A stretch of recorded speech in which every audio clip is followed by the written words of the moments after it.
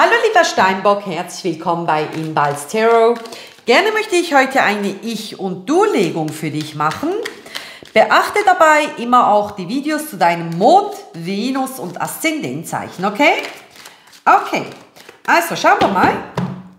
Hier schau ich dich an, hier dein Gegenüber, Steinbock. Ähm, du weißt, wie es läuft. Es schauen hier sehr viele Leute zu. Es ist eine Kollektivlegung. Es ist gut möglich, dass du dich hier siehst und dein Gegenüber hier. Okay, das kann passieren. Also, schauen wir mal. Für Steinbock, Steinbock, Steinbock.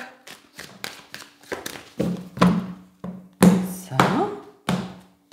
Steinbock, was ist hier bei dir los? Zwei der Stäbe hier, Zukunftspläne. Zukunftspläne. Ähm, ich habe äh, ich hab so den Eindruck, dass du deine Zeit neu berechnest, deinen Tagesplan neu berechnen musst. Da gab es irgendeine Veränderung, Veränderung in deinem Leben, die Anpassungen benötigt in deinem Leben. Ähm, vielleicht hast du einen zusätzlichen Job, vielleicht hast du jetzt ein Hobby, dem du regelmäßig nachgehen musst, ja, die, die du dann jetzt in, in deinem Leben, ähm, dass du jetzt in deinem Leben einplanen musst, ja, schauen musst, ah, habe ich Donnerstag am Abend Zeit ah, oder würde Mittwochvormittag besser passen, wie mache ich es dann mit XY, ah, solche Dinge. Du bist momentan das so am Plan. Sehr konkrete Tagesplanungen sehe ich vor meinem Geist, geistigen Auge. Okay. Was ist hier auf der Gegenseite los? Mäßigkeitskarte ist hier vorher auch bei Schütze hier gekommen. Ähm, das ist die Schütze-Karte. Bei Schütze war das vor allem die Besessenheit des Gegenübers mit Schütze. Bei dir geht es hier darum, dass dein Gegenüber momentan ziemlich zurückgezogen ist. ist. Dieser Mensch scheint momentan ähm, oder so wie du deine Tage planst oder so diese Berechnungen machst in Bezug auf deinen Tagesablauf, so macht dieser Mensch momentan Berechnungen in sich. Ja, nicht im Sinne von berechnend, sondern im Sinne von äh, interne Gespräche mit sich selbst. Ja, in Bezug auf das, was das Herz betrifft, in Bezug auf das, was, was, was seine, ihre Natur betrifft. Weil bei der Mäßigkeitskarte sehen wir diesen Engel einen Fuß in, ins kalte, ins Natur, Entschuldigung, ins natürliche Wasser hier halten. Es geht um die Natur dieses Menschen. Das ist der Moment, wo du dich hinsetzt, dich fühlst, ja, dich deine Natur fühlst und dich ganz ehrlich fragst, oder will ich X überhaupt noch? Will ich Y überhaupt noch? Passt Z überhaupt noch zu meiner Natur? Ja oder nein? Okay? Das ist das. Was ist hier bei dir auf Herzensebene los? Ach, der Kelche hier. Ähm, Du scheinst hier sehr auf deine Tagesplanung konzentriert zu sein. In Bezug auf dein Herz hast du dich hier von der Vergangenheit verabschiedet, Steinbock. Das ist ziemlich interessant. Bei Schütze ist das so gekommen. Ich habe die Karten sehr gut durchmischt. Ich mische sie auch vor der Aufnahme. Ja, mische ich sie gründlich. Ähm, bei dir ist es hier bei Herzens, auf Herzensebene. Ich habe das Gefühl, dass du momentan in der Liebe keine Erfüllung siehst. Ja? Bei zwei der Stäbe sehe ich nicht, dass du hier mit jemandem zusammengekommen bist und dich nun fragst, äh, wann, wann, kann ich diesen Menschen am besten treffen, wie integriere ich das in meinen Alltag oder so. Äh. Hier geht es um andere Dinge, um Hobbys, um äh, neue Dinge, die du im Alltag tust. Vielleicht, vielleicht äh, hast du oder dir eine Katze zugelegt oder so. Ja, es sind Dinge, die dein, dein Lebensplan betreffen, deinen eigenen und momentan bist du nur damit beschäftigt, beschäftigt und suchst in dem, was in all denen, die du zurückgelassen hast, suchst du keine Zukunft momentan. Hm? Man sieht dich hier mit, der roten, mit diesem roten Cape, ja, rot für die Liebe, sieht man dich hier verabschieden, hier ähm, dich verabschieden, hier sieht man dich auch mit diesem roten Cape.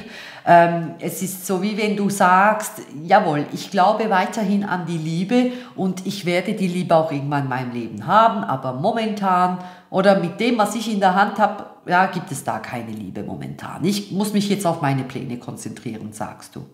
Ja, bist hier auf Herzensebene bei deinem Gegenüber, der Gehängte hier. Dein Gegenüber ist momentan ähm,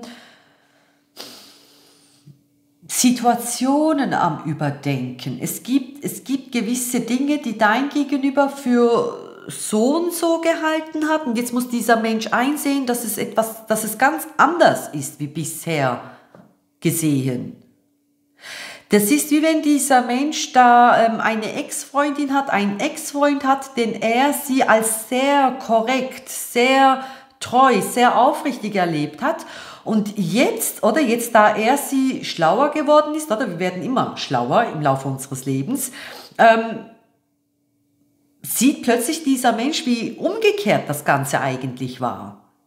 Und das ist bei uns allen der Fall, ja, wenn wir mal unsere, unsere erste Liebe betrachten, unsere erste große Liebe, dieser perfekte Kerl da, wenn wir uns mal ganz genau erinnern, waren das sehr komische Beziehungen, die wir damals geführt haben, gell? Somit Nein, so im Jugendalter, das, sind, das waren keine gesunden Beziehungen. Ja, aber die, die, die benötigt man ja eben, um, die, um das zu erleben und dann im Nachhinein zu erkennen, hey, nee, so sollte es eigentlich nicht laufen, eigentlich sollte es so und so laufen. Und das ist bei deinem Gegenüber der Fall. Ich habe das Gefühl, das, das habe ich schon bei einem anderen Sternzeichen so gefühlt, ich weiß nicht mehr, wer das war. Ähm, ich habe das Gefühl, dass dein Gegenüber irgendwas gesehen hat, irgendwas gehört hat, das bei ihr, bei ihm etwas getriggert hat.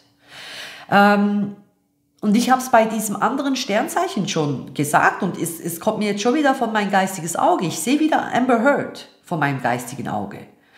Und ähm, ich denke bei ihr, ähm, oder diese Sache zwischen Johnny Depp und seiner Ex-Frau. Ich denke, dass da sehr viele Menschen zuschauen und ähm, Dinge an ihr erkennen, die sie an andere Menschen erinnern lässt lassen. Ja, das, wo dann plötzlich, ich habe ich hab zum Beispiel, bei, bei, als ich ihr zugesehen habe, ja, so, so ähm, abtörnend sie auch ist, sie erinnert mich sehr an meinen Bruder. Sie, sie hat mich persönlich, oder bei mir hat das das ausgelöst, dass sie mich an meinen Bruder er, erinnert hat, ja. Ähm, und ich, denk, ich denke, oder ich habe das jetzt auch immer wieder bei diesen Legungen gespürt, dass diese, dass diese Gerichtsverhandlung einen ziemlichen Effekt auf die Menschen hat. Plötzlich sieht man in seiner ganzen äh, Glorifizierung, was eine toxische Beziehung ähm, auslösen kann, wohin es führen kann. Gell? Jeder sieht etwas in sich von äh, bei beiden Seiten. Ja äh, Königin der Stäbe hier auf deiner Seite, Steinbock. Das ist die Art und Weise, wie dein Gegenüber dich sieht. Dein Gegenüber hat das Gefühl, dass du eine Person bist, die absolut weiß, was sie will, sich gar nicht beirren lässt, sich gar nicht äh, vom Fokus abbringen lässt hier. Dein Gegenüber hat überhaupt nicht das Gefühl, dass du da rumsitzt und um ihn, um sie weinst. Ähm, er, sie ist überzeugt, dass du hier hinter deinen eigenen Plänen her bist und dich nicht aufhalten lässt durch diese Warterei, die er sie hier veranstaltet. Okay? Wie siehst du dein Gegenüber? Die Liebenden hier. Nee, du siehst diesen Menschen genauso, wie er sie auch drauf ist. Also ihr kennt einander ziemlich gut. Ist interessant. Ähm, die Liebenden hieß ursprünglich äh, The Choice, also die Entscheidung. Bei den Liebenden geht es nicht darum, dass man die Liebe seines Lebens trifft oder so. Bei den Liebenden geht es darum, dass man Entscheidungen trifft, die das Liebesleben dann nachhaltig verändern. Zum Guten oder zum Schlechten. Und du, dir ist klar, dass dieser Mensch hier eben vor einer Entscheidung steht vor, oder da an einem Punkt ist in seinem ihrem Leben, ähm, wo er sie große Entscheidungen treffen muss, wo die, die, die sein ihr Privatleben sehr beeinflussen werden.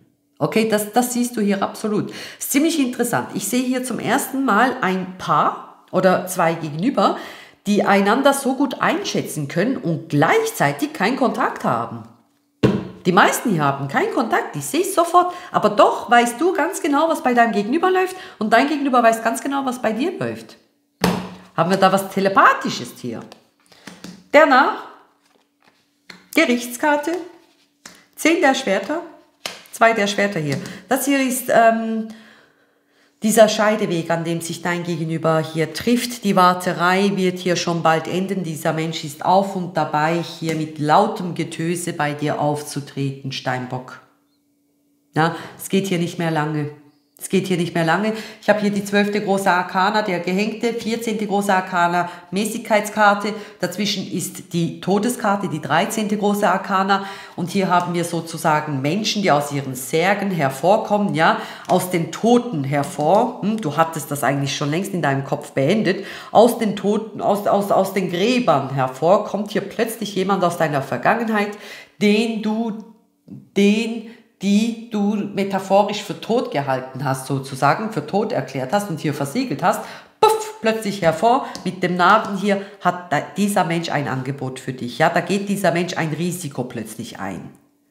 Es ist gut, wir haben hier drei große Arkanas bei deinem Gegenüber. Es ist gut, dass du dich hier nicht aufhalten ließ, Steinbock, dass du hier weiterhin deinen, äh, deinen Themen nachgehst, weil große Arkanas sind Dinge, die wir nicht beeinflussen können. Dein Gegenüber muss sich diese Zeit nehmen. Dein Gegenüber muss sich hier gedulden, muss hier sich Zeit nehmen für diese Entscheidung, weil es einfach eine sehr große Sache ist und ähm, das, das, das kann man nicht bestimmen. Du kannst nicht sagen, okay, morgen um 15 Uhr möchte ich wissen, was mein Herz will. Das geht nicht. Es ist ein Prozess und ähm, es ist gut, dass du dich da nicht irgendwie ähm, hindern liest auf deinem Weg, dass du weiterhin deinen Weg gegangen bist, weil Du hast keinen Einfluss drauf, dein Gegenüber hat auch keinen Einfluss drauf. Du hast dir auf jeden Fall einen Samen gesetzt und hast oder nicht am Sprossen da gezogen, damit es noch schneller wächst, sondern hast hier abgewartet, ja, hat, hast dir sozusagen bisher abgewartet, bis das gedeiht und blüht und dein Gegenüber dann eine Entscheid, in, äh, entsprechende Entscheidung in, in Bezug auf euch beide fällen kann. Okay, wenn du hier dir täglich an den Haken gezogen hättest, damit sie schneller wachsen, ja, das ist jetzt metaphorisch gemeint, dann wäre das Ganze schief gegangen. Aber da du hier nicht täglich an deinen Haken gezogen hast, sondern abgewartet hast, dass sie wachsen, kommen hier positive News auf dich zu. Okay? Da kommt jemand, wo du schon längst die Hoffnung aufgegeben hattest, aus der Versenkung heraus und geht mit einem Risiko auf dich zu. Ich werde hier mit diesen Karten schauen, was hier genau passieren wird, worauf das Ganze hier hinausläuft. Diese Karten hier, Steinbock, werde ich fragen, was du vor deinem Gegenüber versteckst und was dein Gegenüber vor dir versteckt. Und für jene, die hier keinen Kontakt haben, werde ich diese Zeitkarten hier fragen, wann der nächste Kontakt stattfinden wird. Den Link zur Fortsetzung findest du unten in der Infobox und im obersten Kommentar. Falls dir mein Stil gefällt, freue ich mich über deinen Klick auf Abonnieren. Wir sehen uns auf der anderen Seite und allen anderen wünsche ich alles Gute, macht's gut. Bye bye!